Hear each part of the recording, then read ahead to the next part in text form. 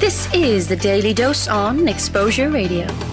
Hello, good afternoon, and welcome to the penultimate edition of Daily Dose with me, Tom Cutler, and Francesca Barbieri. Lots of things to keep you informed and entertained throughout the show today. On today's programme, we'll be chatting to Capital FM and S4C presenter Geraint Hardy about his career and life in the showbiz world.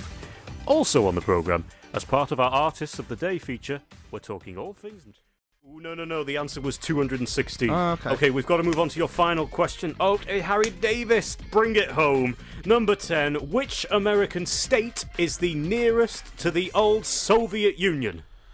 Nearest to the old Soviet Union, so we're looking at I've got a friend who knows the answer to this. Alaska. Nor- Ah, Alaska. Yes. I was going to say it's, it's northwest. It's got to be northwest, but yeah, Alaska. Okay, now we're going to go for a song. I hope you enjoyed that at home. And don't forget, you can get in touch with us if you want to have your say on the social media at Exposure USW for Instagram and Twitter, or you can search on Facebook, Exposure Radio. Still loads more to come on the programme, but now, So Good by Louisa Johnson.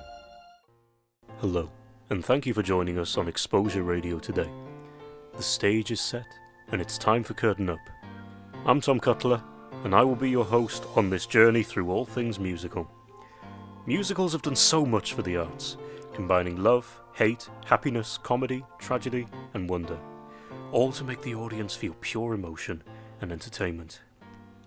Powerful songs like Seize the Day from Newsies and One Day More from Les Mis. Or the genius of visionaries who've seen their work come to life on stage, like Andrew Lloyd Webber and Marvin Hamlisch. From serious musicals that tug on our heartstrings, like Phantom of the Opera and The Chorus Line. Or the more zany alternatives, like Urinetown and Avenue Q.